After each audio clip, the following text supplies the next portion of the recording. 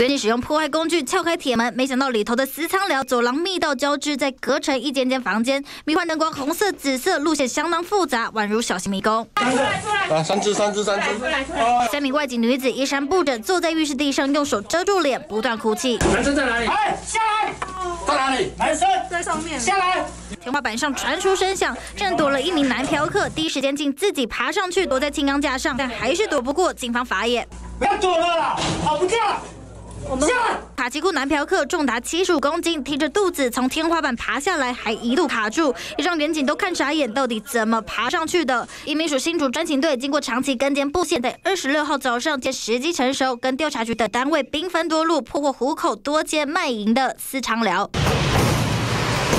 以李姓祖先为首的集团专门诱骗移工脱逃，并租赁房屋，将移工藏匿在虎口工业区附近，每日充当马夫，将失联移工再去卖淫。检调经过数月跟监，终于掌握相关实证。总共查获犯罪嫌疑人四人，卖淫外籍女子十三人，以及嫖客一名。现场十八人通通被带回警局。李姓祖先等四人因违反人口贩运防治法、妨害风化等罪嫌，移送主检侦办。外籍女子疫情间来台工作，却遭诱骗卖淫，恐怕都得面临遣返命运。记者何梦谦。彭新美新竹报道。